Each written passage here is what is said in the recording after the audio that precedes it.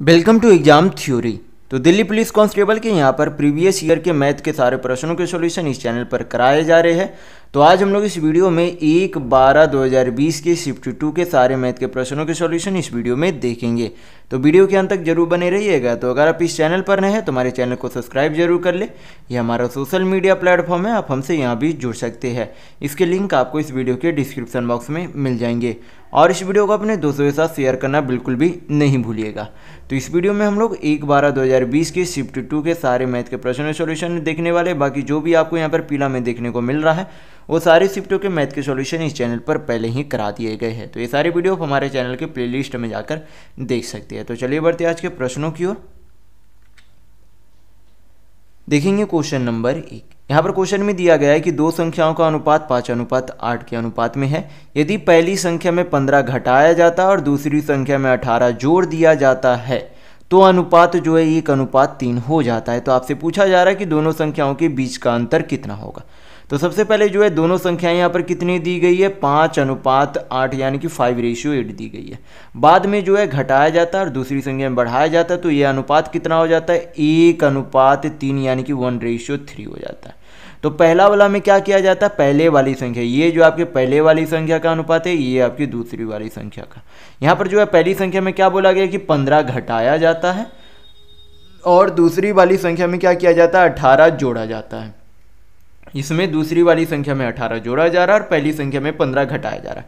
तो यहाँ पर क्या करेंगे? क्रॉस गुना करेंगे। क्या करेंगे? क्रॉस गुना करेंगे और डिफरेंस निकालेंगे। ये सबसे आसान तरीका होता है किसी का रेशियो जब इस तरीके से अंतर और जोड़ इस तरीके से दिया हुआ रहे तो इसे जो है हल करने के लिए सबसे आसान तरीका होता है। तो यहाँ पर क्या करेंगे? इसे हल करेंगे तो डिफरेंस निकालेंगे गुना करने पर। तो आपका कितना हो जाएगा? यहाँ पर क्रॉस गुना करेंगे तो पाँच तिया पंद्रह। और यहाँ पर आठ इंटू एक आठ। तो पंद्रह और आठ का अंतर कितना होता है? सात। यानी कि अंतर कितना है? सात यूनिट के बराबर है।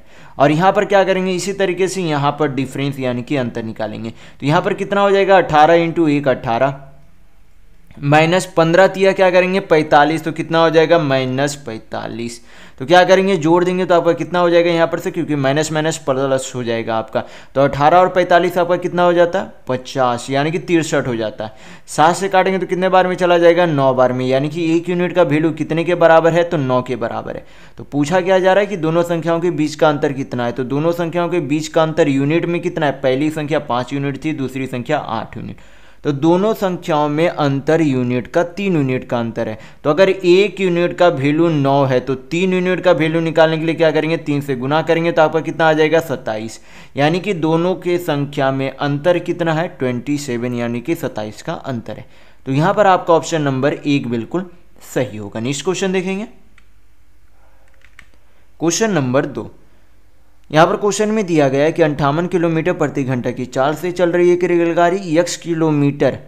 सॉरी यक्स रेलगाड़ी की ये जो है, क्या दी गई? रेलगाड़ी का नाम है। यानी कि रेलगाड़ी यक्स जो है, विपरीत दिशा में 50 किलोमीटर प्रति घंटा की चाल से चल रही है। एक अन्य रेलगाड़ी वाई को पूरी तरह पार करने में 16 सेकेंड का समय लेती है। यदि रेलगाड़ी वाई की लंबाई यक्स की लंबाई का से दो गुना है तो रेलगाड़ी वाई एक पुल को चौवन सेकेंड में पार कर जाती है तो पुल की लंबाई कितनी होगी आपसे पूछा जा रहा है। तो सबसे पहले यहाँ पर हमें क्या निकालनी होगी? यहाँ पर हमें निकालना होगा कि। सबसे पहले जो है, इस लाइन पर हम लोग ध्यान देंगे। इस लाइन में क्या बोला गया कि रेलगाड़ी वाई की जो लंबाई है यक्स से क्या है दोगुनी है? तो अगर रेलगाड़ी यक्स की लंबाई मान ले कि एक है तो इससे दोगुना लंबाई ये कितनी हो जाएगी? दो यूनिट हो जाएगी। तो यहाँ पर आगे कन्फ्यूज़न हो इसलिए यहाँ पर क्या कर लेते इसे वन ए मान लेते इसे टू ए मान लेते यानी कि इसकी लंबाई वन ए है, पहले रेलगाड़ी की लंबाई वन है और वाई वाई रेलगाड़ी की लंबाई टू ए है। तो यहाँ पर जो है बोला गया कि जब जो दोनों एक दूसरे के विपरीत दिशा में दोनों रेलगाड़ी चलते हैं तो एक दूसरे को 16 सेकंड में पार कर लेते तो जब दोनों के विपरीत दिशा में चलेंगे तो दोनों का दूरी क्या होगा? ये आपकी जो रेलगाड़ी की लंबाई है, वही क्या होगा? कुल दूरी होगा। तो यहाँ पर से जो है, आपको क्या पता होना चाहिए, समय बराबर क्या होता है? समय बराबर आपका क्या हो जाता है? दूरी बटा चाल यानी कि डिस्टेंस टाइम बराबर आपका डिस्टेंस बाई स्पीड होता है तो फार्मूला ध्यान रखिएगा। तो यहाँ पर जो है, समय बराबर क्या है? दूरी बटा चाल तो दूरी कितना है? दोनों रेलगाड़ी की लंबाई ही कुल दूरी होगी तो कितनी होगी? Two A plus one A यानी कि थ्री ए बाई आपका क्या हो जाएगा? स्पीड। यानी कि यक्स की चाल अंठावन किलोमीटर प्रति घंटा और वाई की चाल पचास किलोमीटर प्रति घंटा है। तो विपरीत दिशा में जब चलेंगे तो चाल क्या हो जाएगा? जुट जाएगा। तो पचास और अंठावन कितना हो जाएगा आपका? एक सौ आठ। लेकिन यहाँ पर जो दूरी है, वो किसमें रेलगाड़ी की लंबाई हम लोगों ने मीटर में मानी।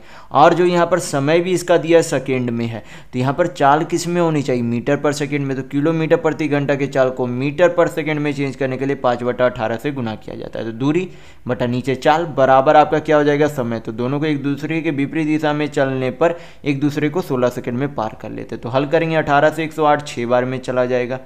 तीन से छः दो बार में चला जाएगा तो ए बराबर आपका कितना आ जाएगा? यहाँ पर से सोलह, पच्चीस, अस्सी, दूनी कितना हो जाएगा? एक सौ साठ मीटर। यानी कि ए का यहाँ पर मान कितना आया? ए का मान आ गया आ गया 160 किलोमीटर। तो यक्स का वैल्यू कितना आ जाएगा? वन ए था, यानी कि ए मीटर थी। यानी कि यक्स रेलगाड़ी की लंबाई कितनी थी? 160 मीटर थी, यानी कि 160 मीटर। फिर उसी तरीके से वाई रेलगाड़ी की लंबाई कितनी हो जाएगी? टू ए थी। तो अगर ए का वैल्यू 160 मीटर है तो टू ए का वैल्यू कितना हो जाएगा? 320 मीटर। यानी कि वाई रेलगाड़ी की लंबाई कितनी थी? 320 मीटर। तो यहाँ पर से हमें दोनों रेलगाड़ियों का निश्चित वैल्यू पता चलिए। तो फिर बोला गया कि रेलगाड़ी वाई की से पुल पर जब पार करती है तो चौवन सेकेंड का समय लेती है। तो अबर क्या कर रही है? रेलगाड़ी वाई अबर पुल को पार कर रही है। तो वाई का तो हमें रेलगाड़ी की लंबाई पता है, लेकिन हमें पुल की लंबाई नहीं पता है। तो पुल की लंबाई क्या मान लेते हैं? यक्स यानी कि ब्रिज की लंबाई हम लोग मान लेते हैं क्या है? यक्स तो कुल दूरी कितनी हो जाएगी? क्योंकि यहाँ पर भी आपका फॉर्मूला यही लगेगा, समय बराबर दूरी बटा चार। तो दूरी कुल कितनी हो जाएगी? पहले तो आपकी वाई की ट्रेन की दूरी प्लस ब्रिज की दूरी, यानी कि कुल दूरी 320 प्लस यक्स की। और चाल कितना है तो वाई का, चाल यहाँ पर 50 किलोमीटर प्रति घंटा है। लेकिन जो आपका दूरी है वो मीटर में है तो चाल किसमें होनी चाहिए? मीटर पर सेकेंड में तो पाँच बटा अठारह से गुना करेंगे। तो अठारह आपका ऊपर चला जाएगा। तो समय यहाँ पर आपका कितना दिया गया? चौवन सेकेंड पार करने में लगता है। हल करेंगे, यहाँ पर से एक्स का जो वैल्यू आएगा, वही ब्रिज की लंबाई होगी। तो हल करेंगे तो अठारह तिया चौवन हो जाता है। एक्स बराबर आपका कितना आ जाएगा? पाँच पच्चीस पच्चीस तिया पचहत्तर। यानी कि साढ़े सात सौ माइनस तीन सौ बीस करेंगे तो आपका कितना हो जाएगा? चार सौ तीस मीटर आएगी। यानी कि ब्रिज की लंबाई कितनी थी? Four thirty metre. तो यहाँ पर आपका ऑप्शन नंबर दो बिल्कुल सही होगा। तो अगर आपको वीडियो पसंद आ रहा है तो लाइक करते ज़रूर चलिएगा। नेक्स्ट क्वेश्चन देखेंगे। क्वेश्चन नंबर तीन। यहाँ पर क्वेश्चन में बोला जा रहा है कि किसी लंबवृत्तीय बेलन का वक्र पृष्ठीय क्षेत्रफल, यानी कि लेटरल सरफेस एरिया का क्षेत्रफल ग्यारह सेंटीमीटर स्क्वायर है। यदि इसकी ऊंचाई 14 सेंटीमीटर है तो आपसे पूछा जा रहा है कि बेलन का आयतन कितना होगा। तो सबसे पहले यहाँ पर से हमें क्या पता करनी होगी? त्रिज्या पता करनी होगी। तो वक्र पृष्ठ क्षेत्रफल का जो है फार्मूला क्या होता है? तो बेलन के वक्र पृष्ठ क्षेत्रफल का फार्मूला हो जाता है आपका टू पाई आर एच। तो ये फार्मूला ध्यान रखिएगा। तो क्या करेंगे? फार्मूला पे वैल्यू पुट करेंगे, आपका त्रिज्या आ जाएगा। तो क्या करेंगे वैल्यू टू इंटू पाई को क्या लिख सकते हैं? बाईस बटा सात। त्रिज्या नहीं दिया गया, हमें निकालना तो उसे आर से डिनोट कर देंगे। और ऊंचाई कितनी दी गई है? चौदह सेंटीमीटर और टोटल जो है, यहाँ पर लेटर सरफेस एरिया कितना दिया गया है? बक्र परिक्षेत्र पर तो ग्यारह सौ चौवालीस। हल करेंगे, त्रिज्या आ जाएगी। तो काटेंगे, यहाँ पर ग्यारह से तो ग्यारह दो बार में, ये आपका एक सौ चार बार में। फिर आपका यहाँ पर से सात से काटेंगे तो ये दो बार में तो दो दूनी चार दूनी आठ। आठ से काटेंगे तो ये एक बार में दो बचा तो आठ तिया चौबीस। यानी कि त्रिज्या आपकी कितनी आ गई? यहाँ पर से तेरह सेंटीमीटर। यहाँ पर से अब हमें त्रिज्या भी पता है। ऊंचाई भी पता है। तो हम लोग आसानी से आयतन निकाल सकते हैं। तो आयतन का जो है फार्मूला क्या हो जाता है? बेलन के आयतन का। आयतन का फार्मूला आपका होता है पाई आर स्क्वायर एच जब तक आप मेंसुरेशन में फार्मूला याद नहीं रखेंगे, तब तक आप मेंसुरेशन के प्रश्न हल नहीं कर पाएँगे। तो याद रखिएगा फार्मूला तो फार्मूला पे वैल्यू पुट कर देंगे। तो पाई को बाईस बटा सात लिख सकते हैं। त्रिज्या कितनी है? तेरह सेंटीमीटर तो तेरह का स्क्वायर करेंगे, क्योंकि आर स्क्वायर है तो कितना हो जाएगा? एक सौ उनहत्तर। ऊंचाई कितनी है? चौदह सेंटीमीटर तो हल करेंगे कितना हो जाएगा? सात दूनी चौदह, बाईस दूनी चौवालीस, यानी कि एक सौ उनहत्तर इंटू चौवालीस करेंगे तो आपका कितना हो जाएगा? नौ चौक छत्तीस, यानी कि इकाई अंक तो छः आना चाहिए, यानी कि पहला और चौथा तो नहीं हो सकता। बाकी हम लोग चेक कर लेंगे यहाँ पर से। और यहाँ पर से सोलह चौक चौंसठ, यानी कि चौंसठ सौ से तो ऊपर आना चाहिए, ये भी नहीं हो सकता, यानी कि ऑप्शन नंबर तीन होगा। ये मैंने सिर्फ़ बिना गुना बताए आपको, यहाँ पर मैंने बाई ऑप्शन यहाँ पर से आंसर निकाल लिया। बाकी आप चाहे तो गुना करके भी देख सकते हैं, नौ चौक छत्तीस होगा, तीन यार यहाँ पर से नौ चौक छत्तीस छः चौक चौबीस, यानी कि चालीस, बीस, साठ और तीन कितना हो जाएगा? तिरसठ। और आपका हो जाएगा छः तो कितना हो जाता है यहाँ पर से? आपका हो जाएगा चार और छः चौक चौबीस, चार अट्ठाईस और छः चौंतीस, तीन। चार और तीन कितना होता है? सात, यानी कि चौहत्तर सौ कितना हो जाएगा? छत्तीस। ये जो आपका क्या आ जाएगा? इतना सेंटीमीटर, क्यू इतना आपका वॉल्यूम आएगा। तो नेक्स्ट क्वेश्चन देखेंगे। देखेंगे क्वेश्चन नंबर चार। यहाँ पर क्वेश्चन में दिया गया है कि पंद्रह संख्याओं का औसत तेईस दशमलव चार है। इन पंद्रह संख्याओं में से प्रारंभिक नौ संख्याओं का औसत पच्चीस है और अंतिम सात संख्याओं का औसत बाईस दशमलव पाँच है। यदि नौवीं संख्या निकाल दी जाए तो बची हुई संख्या का औसत कितना होगा, ये आपसे पूछा जा रहा है। तो सबसे पहले हमें क्या निकालनी होगी? नौवीं संख्या का वैल्यू निकालना होगा। हमें क्या निकालना होगा? नाइन्थ नंबर यानी कि नौवीं जो संख्या उनका वैल्यू निकालना होगा। तो सबसे आसान तरीका क्या होगा? तो ये जो है सबसे आसान तरीका होगा कि ओवरऑल जो है पंद्रह संख्याओं का औसत यहाँ पर कितना दिया गया तेईस दशमलव चार। यहाँ पर क्या लिखेंगे? तेईस दशमलव चार पहले लिखेंगे। फिर जो है ये प्रारंभिक जो है नौ संख्याओं का औसत कितना दिया गया? पच्चीस। तो ओवरऑल औसत कितना था? तेईस दशमलव चार। लेकिन यहाँ पर पच्चीस है तो कितना अधिक है ये? तो यहाँ पर 1.6 क्या है? अधिक है। तो ये क्या करेंगे? ये जो नौ संख्या में जितना अधिक औसत, उसको क्या करेंगे? नौ से गुना कर देंगे। तो यहाँ पर आपका कितना आ जाएगा? चौदह दशमलव चार। यहाँ पर वृद्धि हो रही है तो प्लस में तो कितना हो जाएगा? चौदह दशमलव चार। फिर जो है, यहाँ पर आपकी क्या देखने को मिल रही है? अब जो है, अंतिम जो सात संख्या, उनका औसत कितना है? तेईस दशमलव चार से घटकर कितना हो गया? बाईस दशमलव पाँच, यानी कि यहाँ पर कमी देखने को मिल रही है तो आगे माइनस हो जाएगा। तो यहाँ पर कितने कमी देखने को मिली है? तो तेईस दशमलव चार माइनस बाईस दशमलव पाँच करेंगे तो आपका कितना हो जाएगा?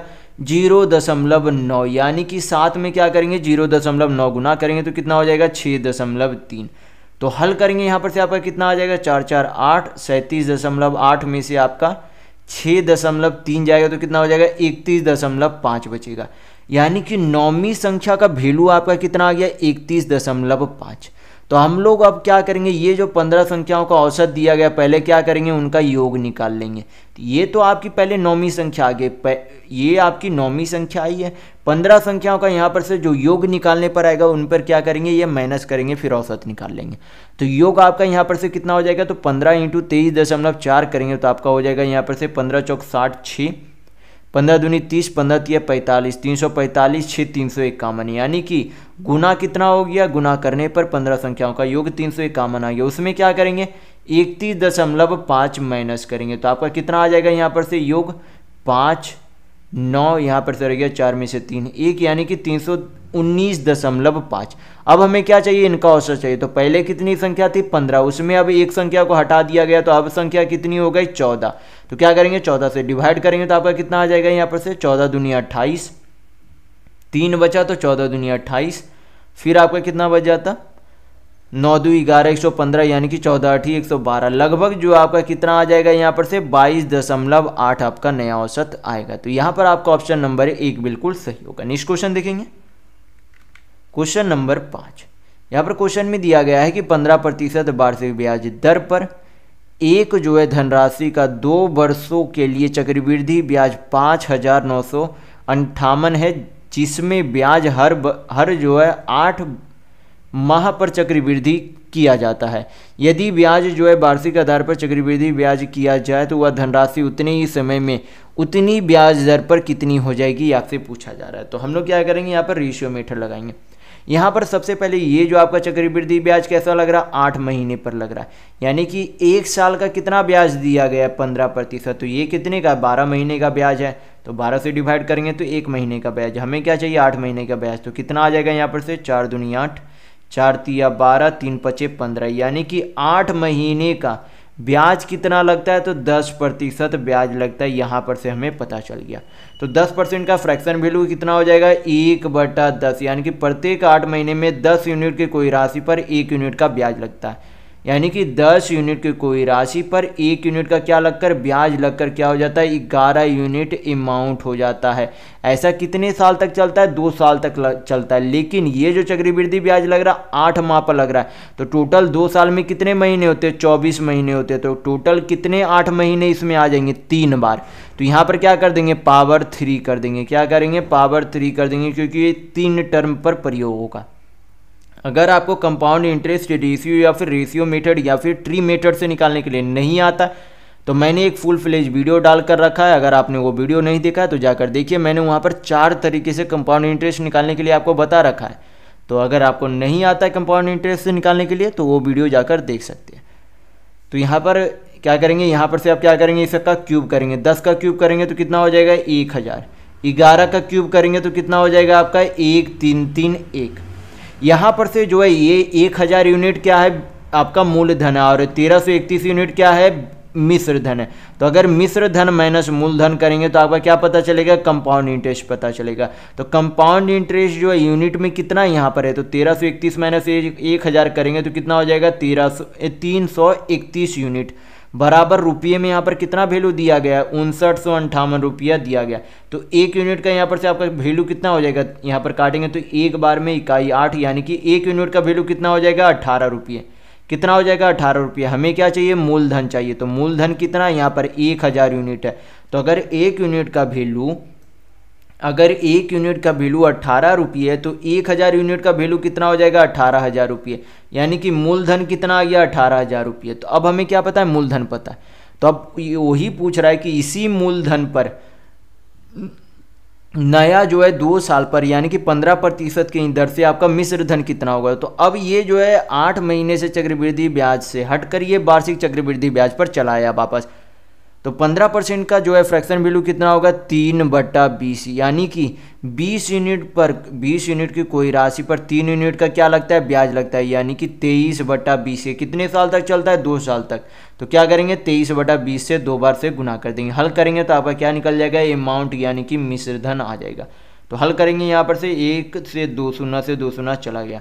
दो दूनी चार चार से एक सौ अस्सी काटेंगे तो चार चक सोलह, चार पच्चीस अस्सी, यानी कि पैंतालीस इंटू तेईस इंटू तेईस करेंगे। तो आपका कितना हो जाएगा? पाँच तिया पंद्रह पंद्रह तिया कितना हो जाएगा? पैंतालीस, यानी कि इकाई अंक आपका कितना आना चाहिए? पाँच आना चाहिए, यानी कि आपका ऑप्शन नंबर तीन बिल्कुल सही होगा, क्योंकि यहाँ पर चार है, यहाँ पर ज़ीरो, यहाँ पर आठ है तो हमें क्या चाहिए इकाई अंक? पाँच है तो पाँच सिर्फ़ यहाँ पर है, यानी कि आपका ऑप्शन नंबर तीन बिल्कुल सही होगा। अगर आप गुना करना चाहें तो गुना करके देख लीजिएगा, आपका तेईस हज़ार आठ सौ पाँच आ जाएगा। कितना गुना करने पर पैंतालीस इंटू तेईस इंटू तेईस? तो नेक्स्ट क्वेश्चन देखेंगे क्वेश्चन नंबर छ यहाँ पर क्वेश्चन में दिया गया है कि एक व्यवसायी जो है चालीस दर्जन के लिए साठ रुपये प्रति दर्जन के मूल्य पर खरीदता है और उनका तीन बटा चार भाग जो है पच्चीस प्रतिशत के लाभ पर बेचता है। तब तक दो दर्जन केले जो है क्या हो जाते हैं? सड़ जाते हैं। तो बचे हुए केले को हुआ जो है पाँच प्रतिशत की हानि पर बेचता तो पूरे सौदे पर उसका लाभ प्रतिशत कितना होगा, ये आपसे पूछा जा रहा है। तो सबसे पहले जो उसका तीन बटा चार भाग पच्चीस प्रतिशत के लाभ पर बेचता है। तो टोटल कितना था? चालीस दर्जन केले थे। तो चालीस का तीन बटा चार कितना होगा? तीस दर्जन केले। उन्हें जो है क्या किया गया? पच्चीस प्रतिशत के लाभ पर बेचा गया। फिर जो है अब क्या करता है? फिर जो है उनमें से अब दो दर्जन केले जो है क्या हो गए? सड़ गए। यानी कि उनमें से दो दर्जन केले सड़ गए। यानी कि हंड्रेड परसेंट का यहाँ पर क्या हो गया? ओवरऑल नुकसान हो गया। क्योंकि उसे अगर सड़ गया तो उसने तो बेच ही नहीं पाया। यानी कि उसका, उस दो दर्जन केले पर ओवरऑल उसका सौ प्रतिशत का नुकसान हो गया। फिर यहाँ पर जो है तीस, दो बत्तीस हो गया। बाकी जो बचा केला, कितना बचा? आठ दर्जन केला। उसे क्या कर दिया? पाँच प्रतिशत के हानि में बेच दिया। अब क्या करेंगे? यहाँ पर से हल करेंगे। जो रेशियो में पहले कट रहा है तो काट लेंगे। ये दो से कट रहा है तो ये दो से चार बार में, ये दो से पंद्रह बार में कट रहा है। अब क्या करेंगे? सीधा सीधी गुना कर देंगे और टोटल रेशियो के यूनिट के सम से भाग कर देंगे। तो आपका ओवरऑल प्रॉफिट परसेंट आ जाएगा। तो पंद्रह इंटू करेंगे तो आपका कितना हो जाएगा यहाँ पर से? पंद्रह दूनी तीस, पंद्रह पच्चीस पचहत्तर, यानी कि तीन सौ पचहत्तर। यहाँ पर सौ इंटू एक तो आपका कितना आ जाएगा? माइनस सौ। और यहाँ पर कितना आ जाएगा? चार इंटू माइनस पाँच तो माइनस बीस। ओवरऑल आपका कितना हो जाएगा? सौ, एक सौ बीस। तो एक सौ बीस माइनस करेंगे तो आपका कितना हो जाएगा? दो। और यहाँ पर एक सौ बीस, यानी कि दो यहाँ पर पाँच जी, पाँच। दो सौ पचपन बटा क्या करेंगे? टोटल ओवरऑल रेशियो के यूनिट के सम से डिवाइड कर देंगे। तो पंद्रह, एक सोलह सोलह चार कितना हो जाएगा? बीस यूनिट तो बीस यूनिट तो यहाँ पर बीस से भाग करेंगे तो आपका कितना आ जाएगा? हल करेंगे, आपका आ जाएगा यहाँ पर। तो बीस एक बार में। फिर आपका कितना बचा यहाँ पर से बीस एक बार में तो यहाँ पर से पचास। तो बीस दूनी चालीस। फिर पंद्रह, बीस सत्तर एक सौ चालीस, बीस पच्चीस, सौ। यानी कि बारह दशमलव सेवन फाइव परसेंट का क्या होता है? ओवरऑल प्रॉफिट होता है। तो यहाँ पर आपका ऑप्शन नंबर चार बिल्कुल सही होगा। नेक्स्ट क्वेश्चन देखेंगे। क्वेश्चन नंबर सात। यहाँ पर क्वेश्चन में दिया गया है कि वह सबसे बड़ी संख्या कौन सी है? जिस, जिससे तीन सौ संतानवे, चार सौ पैंतीस और पाँच सौ इकतालीस से भाग देने पर क्रमशः छः दस और चौदह से फल प्राप्त होता है। तो आपसे पूछा जा रहा है कि थ्री एक्स प्लस चार का वैल्यू क्या होगा? तो सबसे पहले हम लोग क्या करेंगे? ये जो तीनों संख्या दी गई है, उन, उनमें से क्या कर देंगे? उनका शेषफल माइनस कर देंगे। यानी कि तीन सौ संतानवे माइनस छः करेंगे तो आपका कितना आ जाएगा? तीन सौ इक्यानवे। कितना आएगा? तीन सौ इक्यानवे। फिर चार सौ पैंतीस माइनस दस करेंगे तो आपका कितना आएगा? तो चार सौ पच्चीस आएगा। कितना आएगा? Four two five. फिर पाँच सौ इकतालीस माइनस चौदह करेंगे तो आपका कितना आ जाएगा? ग्यारह तीन। यानी कि आपका पाँच सौ सत्ताईस आएगा। तो अब क्या करेंगे? जो यहाँ पर, जहाँ पर हमें कम अंतर दिख रहा है, वहाँ पर डिफरेंस निकालेंगे। तो इन दोनों संख्याओं में हमें कम अंतर देखने को मिल रही है। कितना अंतर आ रहा है? यहाँ पर पच्चीस है, यहाँ पर नौ, यानी कि चौंतीस का अंतर आ रहा है। तो या तो ये जो डिफरेंस आया, वही क्या होगा? इन तीनों संख्याओं का यस होगा। हम लोग क्या निकाल रहे हैं? यहाँ पर यस निकाल रहे हैं। अगर आपको इस तरीके से यस निकालना नहीं आता तो आप जिस तरीके से आता है उस तरीके से निकाल सकते हैं। वैसे मैं यहाँ पर शॉर्टकट तरीका आपको बता दे रहा हूँ कि जब भी जो संख्याओं में सबसे कम अंतर दिखे, पहले ऊँचे उसको जो है क्या करेंगे? नीचे लिख लेंगे। जो संख्या आएगी, या तो वही संख्या इन तीनों संख्याओं का यस होगी, या फिर अगर इन तीनों संख्याओं का यस ये नहीं होगी तो चौंतीस का ही कोई फैक्टर एक क्या बनेगा? इन तीनों संख्याओं का यसीय बनेगा। तो चौंतीस नहीं है तो चौंतीस का आधा कितना होता है? सत्रह। तो सत्रह इसका क्या फैक्टर है? सत्रह से काटेंगे तो सत्रह सत्रह दूनी चौंतीस, सत्रह तीय कामन सही है। सत्रह दूनी चौंतीस, सत्रह पचे पचासी कट रहा, सत्रह तीय कामन फिर सत्रह कट रहा। यानी कि ये तीनों संख्या सत्रह से कट रही है तो ये यस आपका क्या आ गया? तीनों संख्याओं का सत्रह आ गया। तो यहाँ पर यक्ष का ये वैल्यू क्या, ये जो सत्रह है, वो असल में क्या यक्ष का वैल्यू होता है अब क्या करेंगे, इसमें यक्ष का वैल्यू पुट करेंगे, आपका आंसर आ जाएगा। तो कितना है? थ्री यक्ष तो कितना हो जाएगा? सत्तर तीय इक्यावन प्लस चार। तो इक्यावन चार आपका कितना हो जाता है? पचपन, यानी कि फिफ्टी फाइव आपका आंसर होगा। तो आपका ऑप्शन नंबर यहाँ पर दो बिल्कुल सही होगा। नेक्स्ट क्वेश्चन देखेंगे। क्वेश्चन नंबर आठ। यहाँ पर क्वेश्चन में दिया गया है कि तेल के मूल्य में 20 प्रतिशत की कमी से एक व्यक्ति जो है पैंतालीस सौ रुपये में 15 लीटर अधिक तेल जो है खरीद पाता है। तो आपसे पूछा जा रहा है कि तेल का प्रारंभिक मूल्य प्रति लीटर कितना था? तो मैं आपको आसान तरीका बताऊँगा यहाँ पर। तो यहाँ पर जब इस तरीके से दिया हुआ रहे और आपसे जो है पहले वाले, यानी कि प्रारंभिक मूल्य पूछे तो यहाँ पर कमी कितनी देखने को मिल है? बीस प्रतिशत की कमी। ओवरऑल जो है, किसी का भी दाम खुद में हमेशा सौ प्रतिशत हो रहा है तो बीस परसेंट में, सौ परसेंट में बीस परसेंट की कमी देखने को मिल रही है, यानी कि अब कितना है तो अस्सी परसेंट है। इंटू क्या करेंगे? जो रुपया, उसे क्या करेंगे? हमेशा ऊपर लिखेंगे। रुपया जो रहेगा वो हमेशा ऊपर लिखेंगे, या जो भी वृद्धि होगी या फिर कमी होगी, वो क्या करेंगे? जैसे कि पंद्रह लीटर तेल है, उसे क्या करेंगे? नीचे लिख देंगे। इस तरीके से ये प्रश्न हल करेंगे तो आप आसानी से हल कर पाएँगे। तो हल कर लेते हैं, बीस से अस्सी काटेंगे तो कितने बार में? चार बार में चला जाएगा। पंद्रह से काटेंगे तो ये तीन सौ बार में चला जाएगा। तो तीन सौ को चार से भाग करेंगे तो कितना आ जाएगा? पचहत्तर रुपये प्रति लीटर। ये आपकी क्या आ गई? तेल की प्रारंभिक मूल्य आ गए तो यहाँ पर आपका ऑप्शन नंबर तीन बिल्कुल सही होगा। नेक्स्ट क्वेश्चन देखेंगे। क्वेश्चन नंबर नौ। यहाँ पर क्वेश्चन में दिया गया है कि एक वृत्ताकार बाग की परिधि दो सौ तिरपन मीटर है।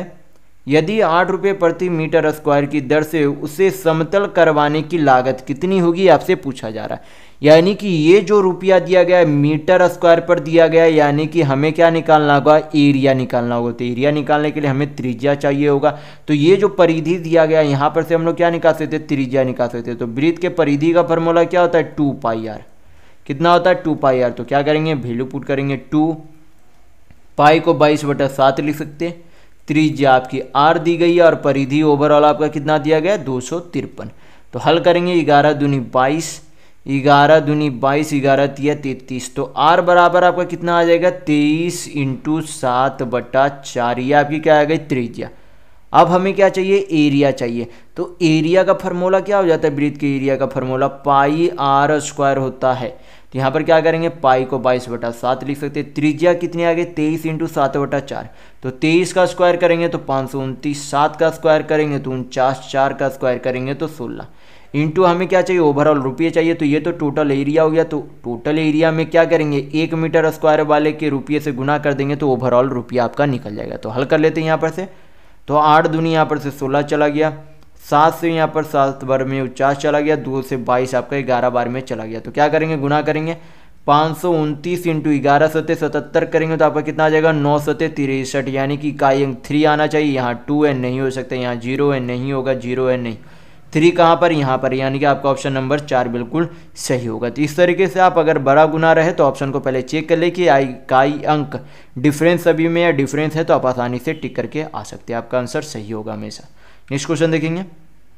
वैसे आप चाहिएगा तो गुना करके देख सकते हैं, आपका इतना आ जाएगा, यानी कि चालीस हज़ार सात सौ तैंतीस। नेक्स्ट क्वेश्चन देखेंगे।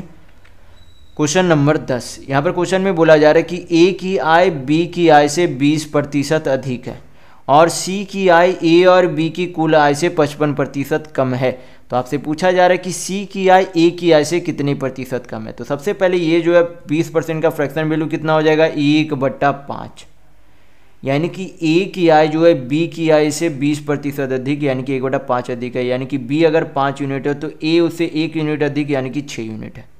फिर सी का जो यहाँ पर बोला गया कि ए और बी के कुल आय से क्या है? पचपन प्रतिशत कम है। कोई भी संख्या का कुल योग जो है खुद में कितना होता है? सौ प्रतिशत होता है। यानी कि सी जो है टोटल इन दोनों के योग का, यानी कि छः पाँच ग्यारह यूनिट के योग का पचपन प्रतिशत कम है, यानी कि सौ माइनस पचपन आपका कितना है? पैंतालीस प्रतिशत है। तो क्या करेंगे? हल करेंगे, पाँच से काटेंगे, नौ बार में, ये कितने बार में? बीस बार में। तो कितना आ जाएगा यहाँ पर से आपका? यहाँ पर से आपका हो जाएगा ग्यारह नंबर निन्यानवे बट्टा बीस। निन्यानवे बट्टा बीस। तो अब हमें क्या चाहिए? सी और ए से रिलेशन है। तो हम लोग क्या करेंगे? सी और ए का रिलेशन यहाँ पर देख लेंगे। क्योंकि जो है, जिससे कैलकुलेशन आसानी हो, इसलिए हम लोग अलग से रेशियो निकाल लेते क्योंकि हमें सी और ए से मतलब है। तो यहाँ पर सी कितना आया था? निन्यानवे बट्टा बीस। तो हल करेंगे, कितना हो जाएगा? तीन दूनी छः, तैतीस तिया निन्यानवे। यानी कि ए का वैल्यू कितना हो जाएगा? चालीस। यहाँ पर कितना हो जाएगा? तैतीस। यानी कि कितना कम है ए से? सी जो है ए से सात यूनिट कम है। कुल कितने में से? चालीस यूनिट में से। हमें क्या चाहिए? परसेंट में वैल्यू चाहिए। तो क्या करेंगे? सौ से गुना करेंगे। हल करेंगे, आपका आंसर आ जाएगा। तो यहाँ पर आपका कितना हो जाएगा? बीस दूनी चालीस, बीस पच्चीस सौ। सात पच्चीस आपका कितना होता है? पैंतीस बटा दो। तो आपका यहाँ पर अनुपात में सॉरी अनुपात में नहीं डेसिमल में आपका वैल्यू कितना आ जाएगा यहाँ पर से? सत्रह दशमलव पाँच आएगा। तो यहाँ पर आपका ऑप्शन नंबर दो बिल्कुल सही होगा। नेक्स्ट क्वेश्चन देखेंगे। क्वेश्चन नंबर ग्यारह। यहाँ पर क्वेश्चन में दिया गया है कि एक निश्चित धनराशि समान वार्षिक साधारण ब्याज दर पर चार वर्षों के बाद पाँच हज़ार सात सौ छियानवे और सात वर्षों के बाद छः हज़ार नौ सौ तिरानवे हो जाती है। तो बहत्तर सौ रुपये की धनराशि के लिए उसी ब्याज दर पर दो पूर्णांक एक बटा चार वर्षों का साधारण ब्याज कितना होगा, ये आपसे पूछा जा रहा है। तो सबसे पहले हमें क्या निकालना होगा? एक साल का साधारण ब्याज और प्रिंसिपल निकालना होगा। तभी हम लोग क्या कर सकते? हैं रेट निकाल सकते हैं क्योंकि यहाँ पर से दर हमें पता चलेगा, तभी तो हम लोग ब्याज निकाल पाएँगे। तो सबसे पहले हमें क्या करेंगे? ये दोनों अमाउंट का अंतर निकालेंगे। ये चार साल का अमाउंट है, ये सात साल का अमाउंट है। तो दोनों के मिश्र धन का अंतर कितना हो जाएगा? तो छः हज़ार नौ सौ तिरानवे माइनस पाँच हज़ार सात सौ छियानवे करेंगे तो आपका कितना आ जाएगा? यहाँ पर से, यहाँ पर से आपका हो जाएगा तीन। तीन में से छः गया तो आपका कितना हो जाएगा? सात छः तेरह। सही है फिर आपका यहाँ पर आपका आठ तो कितना हो जाएगा? नौ। फिर आपका यहाँ पर आठ में से सात गया छः में से पाँच गया यानी कि ग्यारह संतानवे। ग्यारह संतानवे आपका क्या हो गया? अंतर। ये जो है, कितने समय का ब्याज है? कितने समय का ये ब्याज है? तो दोनों के समय का अंतर कितना है? चार वर्ष से सात वर्ष है, यानी कि तीन साल के अंतर का ब्याज है। तो हल करेंगे तो एक साल का क्या निकल जाएगा? साधारण ब्याज। तो तीन से काटेंगे तो तीन तिया नौ, दो बचा तो तीन नंबर सत्ताईस, तीन नंबर सत्ताईस। यानी कि एक साल का साधारण ब्याज कितना हो गया? तीन सौ निन्यानवे रुपये। अब हमें क्या चाहिए? प्रिंसिपल चाहिए। तो प्रिंसिपल कैसे निकालेंगे? एक साल का साधारण ब्याज तीन सौ निन्यानवे है।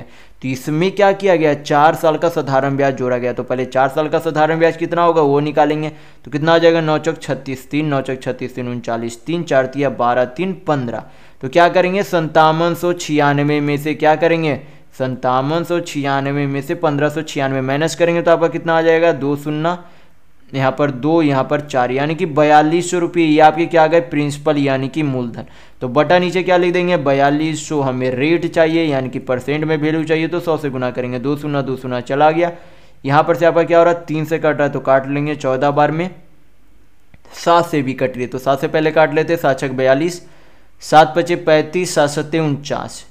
तीन से भी कट रही है तो तीन दूनी छः उन्नीस तिया संतावन। रेट आपकी क्या, कितनी आ गई उन्नीस बटा दो प्रतिशत रेट यानी कि दर आपकी उन्नीस दशमलव, उन्नीस बटा दो प्रतिशत आ गए तो अब हमें क्या निकालना है? साधारण ब्याज निकालना है। प्रिंसिपल है रेट है, समय है। इस पर ये सिंपल इंटरेस्ट यानी कि साधारण ब्याज निकालने का फॉर्मूला क्या मैंने बता रखा है? P into R into T by hundred होता है। यानी कि साधारण ब्याज बराबर मूलधन इंटू दर इंटू समय बटा सौ होता है। तो अब क्या करेंगे? पुट करेंगे। प्रिंसिपल यानी कि मूलधन कितना है? बहत्तर सौ रुपये। और रेट यानी कि दर कितना आया? है उन्नीस बटा दो प्रतिशत। समय कितना दिया गया है? दो पूर्णांक दो बट्टा एक बटा दो, यानी कि फ्रैक्शन में कितना हो जाएगा? पाँच बट्टा दो तो दो आपका नीचे चला जाएगा, सौ नीचे गुना होगा। हल करेंगे, आपका साधारण ब्याज आ जाएगा। तो दो शून्य दो शून्य चला गया। दो दूनी चार कितना हो जाएगा? अठारह चौक बहत्तर। तो अठारह पच्चीस नब्बे। नब्बे और उन्नीस नंबर आपका कितना होता है? एक सौ इकहत्तर, यानी कि सत्रह सौ दस रुपये ये क्या आ गई आपकी साधारण ब्याज। तो यहाँ पर आपका ऑप्शन नंबर चार बिल्कुल सही होगा। नेक्स्ट क्वेश्चन देखेंगे। क्वेश्चन नंबर बारह। यहाँ पर क्वेश्चन में दिया गया है कि अनीता एक वस्तु पर उसके लागत मूल्य से 210 रुपया अधिक मूल्य अंकित करता है। जब वह इसे जो है अंकित मूल्य पर 20 प्रतिशत की छूट देकर बेचता है तो उसे 10 प्रतिशत का क्या होता है? हानि होता है। तो आपसे पूछा जा रहा है कि वस्तु का विक्रय मूल्य कितना है। तो सबसे पहले हम लोग क्या करेंगे, यहाँ पर मार्क्ड प्राइस जो है मान लेते क्योंकि कोई भी मूल्य, कोई भी जो है आपका अंकित मूल्य खुद में जो है कितना प्रतिशत होता है? सौ प्रतिशत होता है। तो यहाँ पर जो है सौ प्रतिशत के सामान को क्या किया गया? सौ प्रतिशत के सामान को बीस प्रतिशत के छूट पर बेचा गया, यानी कि उसे कितने में बेच दिया? तो अस्सी परसेंट में बेच दिया। फिर अब आपका यहाँ पर से क्या निकाल सकते हैं सीपी जब उसे 80 परसेंट में बेचता है तो क्या होता है? 10 प्रतिशत का हानि होता है। यानी कि 10 परसेंट का फ्रैक्शन वैल्यू कितना होगा? एक बटा दस। यानी कि 10 यूनिट वाले सामान को कितने में बेच देता है? एक यूनिट कम, यानी कि 9 यूनिट में बेच देता है। तो यहाँ पर से हम लोग क्या निकाल सकते हैं? अंकित मूल्य विक्रय मूल्य और मूलधन का यहाँ पर से, यहाँ पर से रेशियो में वैल्यू निकाल सकते हैं। तो हल करेंगे, यहाँ पर काटेंगे तो चार बार में यहाँ पर भी चार बार में, यहाँ पर कितने बार में? पाँच बार में। हल करेंगे तो कितना हो जाएगा? नौ पचे पैंतालीस, क्योंकि ये दस बटा नौ है तो नौ सभी में गुना हो जाएँगे। दस बचे पैंतालीस, नौ चौक छत्तीस, और दस चौक कितना हो जाएगा? चालीस। यानी कि आपका जो है, यहाँ पर अंकित मूल्य कितना है? पैंतालीस यूनिट, विक्रय मूल्य छत्तीस यूनिट, और आपका यहाँ पर जो है, क्रय मूल्य कितना है? चालीस यूनिट है। तो यहाँ पर जो है वस्तु पर पूछा जा रहा है कि वस्तु का जो है विक्रय मूल्य कितना है? विक्रय मूल्य कितना है? तो यहाँ पर जो है सबसे पहले ये जो है क्या दिया गया था कि दो सौ दस रुपया जो है क्या किया जाता है? मार्कअप इतने रुपया का किया जाता है। तो सीपी से यहाँ पर यूनिट में मार्कअप कितना है? तो पाँच यूनिट का मार्कअप है। कितने का? पाँच यूनिट का मार्कअप है। रुपये में कितने के बराबर है? दो सौ दस रुपये के बराबर। तो पाँच से पाँच से काटेंगे दो सौ दस को कितना बार में चला जाएगा? बयालीस बार में। यानी कि एक यूनिट का वैल्यू कितना है? बयालीस रुपये के बराबर है। पूछा क्या जा रहा है? विक्रय मूल्य। तो विक्रय मूल्य कितना है? छत्तीस यूनिट। तो एक यूनिट का वैल्यू अगर बयालीस रुपये तो छत्तीस यूनिट का वैल्यू निकालने के लिए छत्तीस से गुना करेंगे तो आपका कितना आ जाएगा यहाँ पर से? यहाँ पर से तो आपका इकाई अंक दो आना चाहिए। इकाई अंक यहाँ ज़ीरो है, गलत है, आठ है, गलत है, ज़ीरो है, गलत है। यानी कि आपका ऑप्शन नंबर दो बिल्कुल सही होगा। गुना करना चाहे तो आपका कितना आ जाएगा? पंद्रह सौ बारह आ जाएगा। चेक करके आप देख सकते हैं। नेक्स्ट क्वेश्चन देखेंगे। क्वेश्चन नंबर तेरह। यहाँ पर क्वेश्चन में कहा जा रहा है कि ए जो है एक निश्चित काम को 18 दिनों में पूरा कर सकती है, बी उसे, बी जो है उसे 30 दिनों में कर सकता है, बी एक साथ मिलकर 9 दिन तक जो है काम करते हैं, शेष काम को अकेले, शेष काम को अकेले सी द्वारा चार दिन में पूरा किया जाता है। तो आपसे पूछा जा रहा है कि बी और सी एक साथ मिलकर उसी काम को कितने दिनों में पूरा कर लेंगे? तो सबसे पहले हमें क्या चाहिए? ए, बी और सी की कार्य क्षमता चाहिए।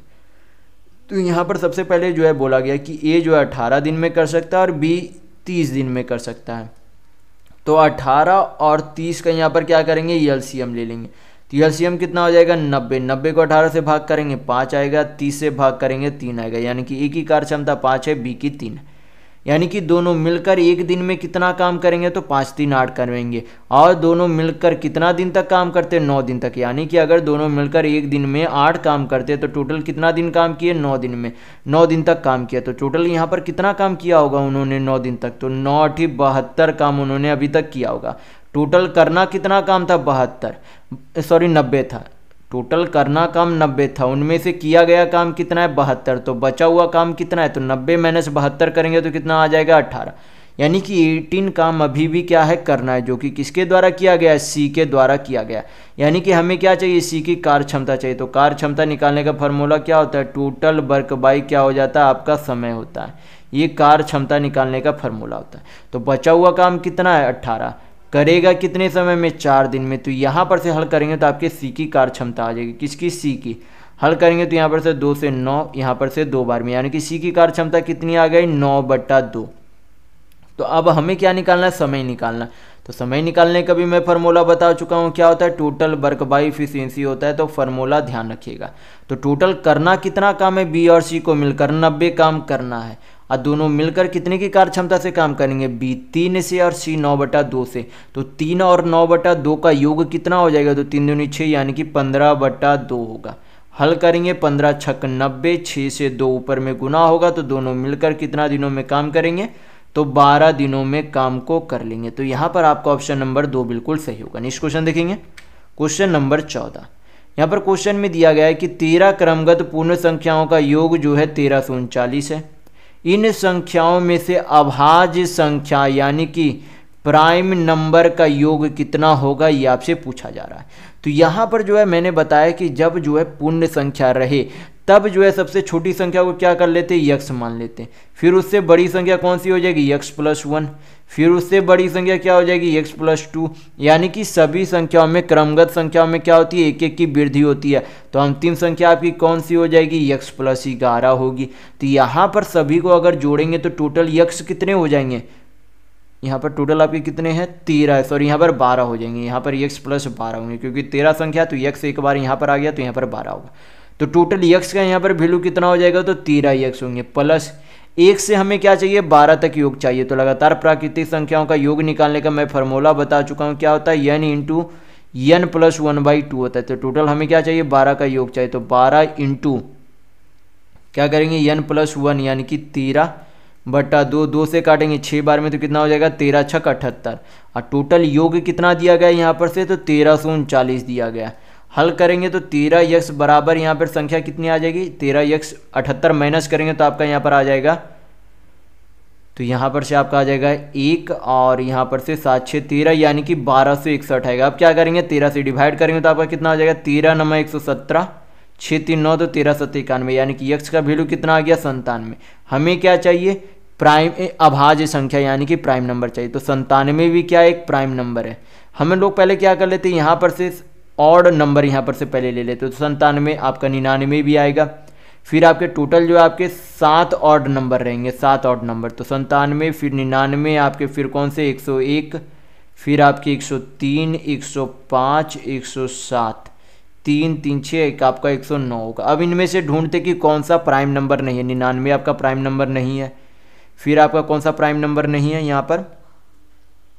तो यहाँ पर से आपका 105 प्राइम नंबर नहीं है। बाकी सब आपका क्या है? प्राइम नंबर है। तो आप क्या करेंगे? इनका योग निकाल लेंगे, आपका आंसर आ जाएगा। तो कितना हो जाएगा आपका? नौ सौ सोलह, तीन उन्नीस, एक बीस, सात, कितना होता है? सत्ताईस। सात में दो, दस, बीस, तीस, चालीस, नौ, उनचास, और दो कितना होगा? एक कामन यानी कि ये आपकी क्या आ गई? योग। तो यहाँ पर आपका ऑप्शन नंबर दो बिल्कुल सही होगा। नेक्स्ट क्वेश्चन देखेंगे। क्वेश्चन नंबर पंद्रह। ये क्या है? आपका सिंप्लीफाई से करना है, सिंपल सा क्वेश्चन है, हल करेंगे। तो यहाँ पर सबसे पहले ये वाला जो, ये वाला जो संख्या दिए गए, उनका पहले क्या कर लेते हैं, हम लोग हल कर लेते हैं। क्योंकि ये जो आपका क्या दिया गया, इस पर रेकरिंग दिया गया। तो हल करेंगे, यहाँ पर आपका कितना आएगा? यहाँ पर zero point seven two six पर क्या है? रेकरिंग है। तो इसे जो हम लोग इस तरीके से लिख सकते हैं कि सात सौ छब्बीस माइनस कितना करेंगे? माइनस जिस पर रेकरिंग नहीं, उतना क्या करेंगे? माइनस कर देंगे। बटा नीचे जितना रेकरिंग था, उतना ही बार नौ तो एक संख्या पर रेकरिंग थी तो एक बार नौ। और पॉइंट के बाद कितनी संख्या पर रेकरिंग नहीं है तो यहाँ पर दो संख्याओं पर रेकरिंग नहीं है तो उतना बार क्या कर देंगे? ज़ीरो तो कितना आ जाएगा आपका यहाँ पर से? सात सौ छब्बीस माइनस बहत्तर करेंगे तो छः में से दो गया चार। और यहाँ पर से दो तो पाँच, यानी कि पाँच सौ सॉरी छः सौ चौवन बटा कितना हो जाएगा? नौ सौ। आप क्या करेंगे? आप सिंप्लीफाई कर लेंगे सारा तो छः सौ चौवन बटा नौ सौ। ऑफ़ है, यानी कि इंटू आपका कितना हो जाएगा? नौ बट्टा दस। भाग है तो ये आपका क्या हो जाएगा? एक बट्टा one point zero nine. Point हटाएँगे, ऊपर कितना आ जाएगा? दो शून्य माइनस तीन बट्टा चार। ऑफ़ है तो पहले इन दोनों का हल करेंगे तो आपका कितना हो जाएगा? तीस बटा पंद्रह दूनी तीस बट्टा दो दूनी चार एक पाँच। पाँचों कितना हो जाएगा? बीस। दो दूनी चार एक पाँच। पाँचों बटा बीस होगा, सही है। मतलब ये आपका तीस बटा बीस होगा। तो आप क्या करेंगे? जो कट रहा उसे काट लेंगे तो दो शून्य दो शून्य चला गया, नौ से नौ आपका यहाँ पर चला गया, एक सौ नौ से छः सौ चौवन आपका, नौ छः चौवन यानी कि छः बार में चला जाएगा। फिर यहाँ पर से हल कर लेंगे तो आपका एक शून्य एक शून्य चला गया। आप क्या करेंगे? अब सारा हल कर लेंगे यहाँ पर से।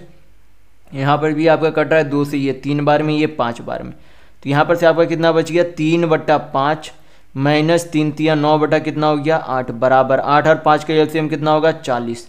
कितना हो जाएगा? पच्चीस अठी चालीस, यानी कि आठ तिया चौबीस माइनस नौ, पच्चीस कितना हो जाएगा? पैंतालीस। तो चौबीस माइनस पैंतालीस करेंगे तो आपका कितना आ जाएगा? माइनस इक्कीस बट्टा चालीस। तो सिंप्लीफाई करने पर आपका इतना आंसर आएगा। तो यहाँ पर आपका ऑप्शन नंबर तीन बिल्कुल सही होगा। तो इस वीडियो में बस इतना ही। अगर आपको वीडियो पसंद आया तो लाइक कीजिएगा। नए हैं तो चैनल को सब्सक्राइब ज़रूर कर लीजिएगा। ये हमारा सोशल मीडिया प्लेटफॉर्म है। आप हमसे यहाँ भी जुड़ सकते हैं। इसके लिंक आपको इस वीडियो के डिस्क्रिप्शन बॉक्स में मिल जाएँगे। और इस वीडियो को अपने दोस्तों के साथ शेयर करना बिल्कुल भी नहीं भूलिएगा। तो वीडियो में बस इतना ही। वीडियो के अंत तक बने रहने के लिए बहुत बहुत धन्यवाद। आशा करता हूँ आपका दिन शुभ हो।